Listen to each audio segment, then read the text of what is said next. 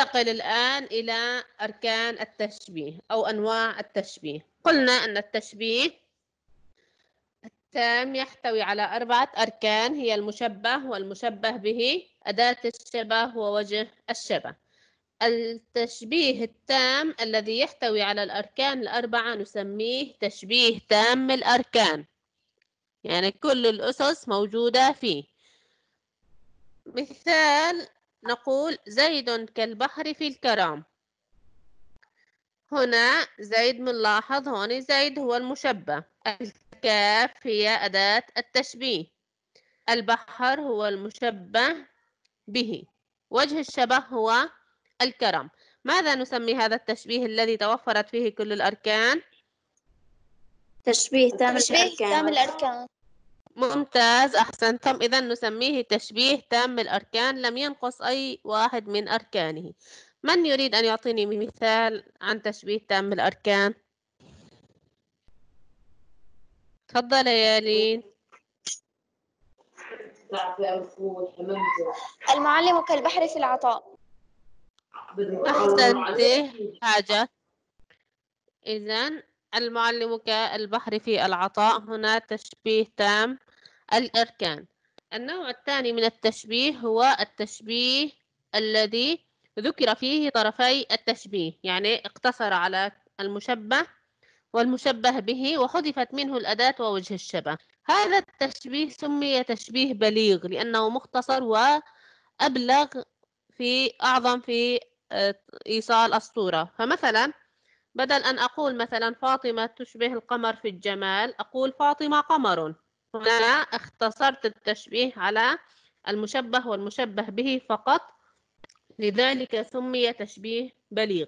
كذلك بدل أن أقول العلم كالنور في البداية أقول العلم نور. إذا عندما يقتصر التشبيه على المشبه والمشبه به فقط نسميه تشبيه بليغ. من يعطي مثال عن التشبيه البليغ؟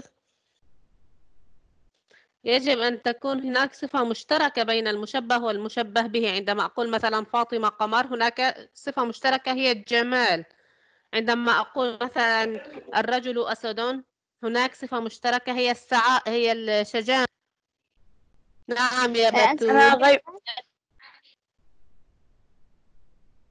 نعم بتول الجاسم آه، حاتم غيمة. إذا هاتم غيمة.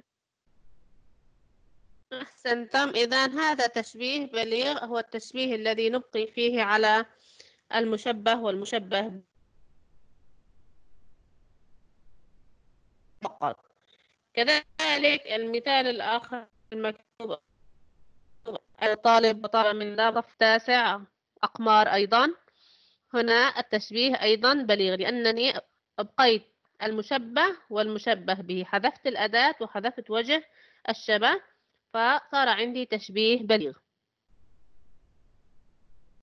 الآن ننتقل إلى الفقرة الأخيرة وهي شارك معنا الآن. علينا أن نطبق المعلومات التي تناولناها في الدرس على التدريبات الموجودة أمامنا. اقرأ الأبيات التالية واملأ الجدول بالمطلوب. طيب. يقول الشاعر ريفي من الوطن المجمل حلية في معصم وقلادة في جيدي. ويقول شاعر آخر وسهيل كوجنة الحب في اللون وقلب المحب في الخفقان ويقول آخر وأبيض فياض يداه غمامة غمامة على معتفيه ما تغب فواضله في البيت الأول أين التشبيه؟ عفوا أين المشبه؟ الطرف المطلوب منا أولا هو المشبه. أين المشبه؟ نعم يا ساجدة.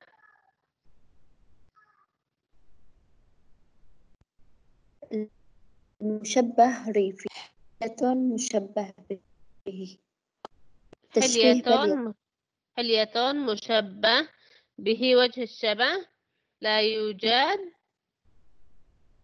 لذلك اقتصر التشبيه على المشبه والمشبه به. لذلك نوعه تشبيه بليغ. بليغ أيضا لدينا تشبيه آخر. ما هو؟ نعم يا هديل. أنسي المشبه هو الريف والمشبه فيه قلادة إذا ريفي هو المشبه. أداة التشبيه لا يوجد. المشبه به قلادة. وجه الشبه لا يوجد. ما نوع التشبيه هنا؟ أنسي تشبيه بليغ. أحسنت. إذا تشبيه, تشبيه بليغ. بليغ. ننتقل إلى البيت الثاني.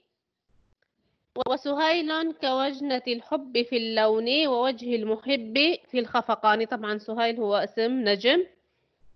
ما هو المشبه هنا؟ نعم يا بتول. المشبه. التشبيه؟ المشبه هو آه، سهيلون. أداة التشبيه الكاف آه، المشبه به وجنتي وجه الشبه الحب الحب في اللون نوع التشبيه تشبيه تام الأركان أحسنت. إذا المشبه سهيل أداة التشبيه هي الكاف المشبه به وجنة المحب وجه الشبه هو اللون. ونوع التشبيه هو تشبيه تام الأركان. البيت الثالث وأبيض غم... عفوا لحظة في عنا تشبيه في نفس البيت الثاني. قال لنا وسهيل كوجنة الحب في اللون. انتهى التشبيه الأول. وقلب المحب في الخفقان. أين التشبيه هنا؟ نعم يا لين. المشبه سهيل أداة التشبيه. آه، محذوفة أو فينا نقول الكاف. والمش... وجه الشبه وجه الشبه في الخفقان. نوع التشبيه تشبيه تام الأركان. أحسنتي إذا آه، المشبه به قلب المحب ووجه الشبه هو الخفقان. نوع التشبيه تام الأركان.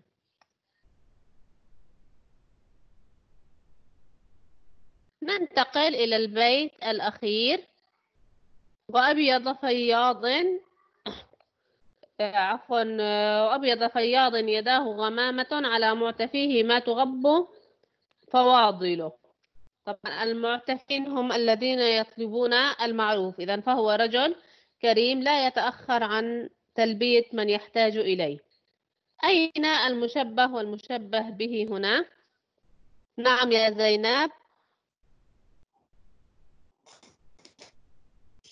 المشبه يداه آه، المشبه به غمامة نوع التشبيه بليغ أحسنت إذا المشبه يداه المشبه به غمامة. أداة التشبيه لا توجد ووجه الشبه لا يوجد. نوع التشبيه تشبيه بليغ. الآن ننتقل إلى السؤال الأخير. أريد من كل طالبة أو بعض الطلاب المشاركة معنا وإعطاء مثال عن التشبيه سواء كان تشبيه تام الأركان أو تشبيه بليغ. نعم يا بتول. آه، آسف ممكن تعيد السؤال؟ آه، أعطي مثال مثال عن تشبيه بليغ أو تشبيه تام الأركان. نريد أن نحل سؤال أعطي مثال عن تشبيه ونكتبه مع الوظيفة.